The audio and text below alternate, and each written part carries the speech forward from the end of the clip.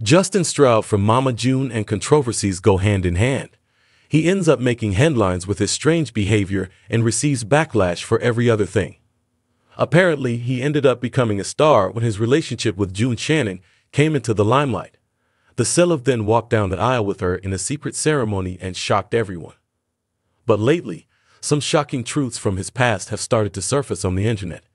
His arrest video recently became viral, which now seems to end up affecting his present and future as well. What is it all about? Mama June. Justin's arrest video shocks everyone and goes viral. Justin Stroud doesn't have a crystal clear past. He was Shannon's ex's friend and was involved in several things.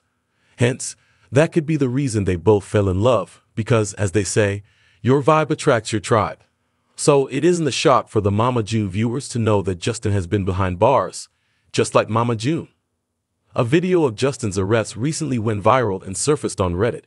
The clip features him and June surrounded by police all over. The latter was trying to explain to the authorities and was trying to prove herself innocent. The Opal also stated that Shannon confirmed that Justin was on Suboxone. The thread stated, This was a year ago. The OP even wondered that after watching this video, June and Justin would perhaps end up losing their court case regarding Caitlyn. It wrote in the caption, I just do not see a judge finding these two fit over Michael Cardwell. Several viewers agreed the same and stated that there are fewer chances of Shannon getting her granddaughter's custody. However, a user explained that this incident took place when June and Justin were going for a vacation, but they ended up proving that the medication was prescribed.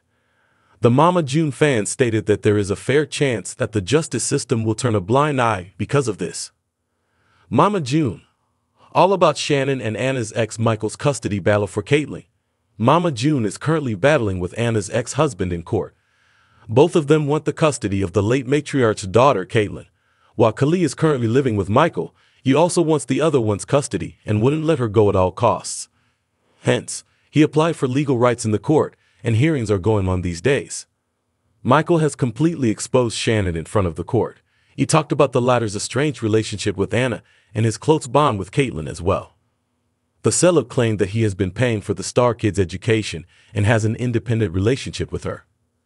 Shannon has claimed that she would do anything and everything to get Caitlyn's custody, but the majority of the viewers believe that the best decision for the latter would be to stay with Michael.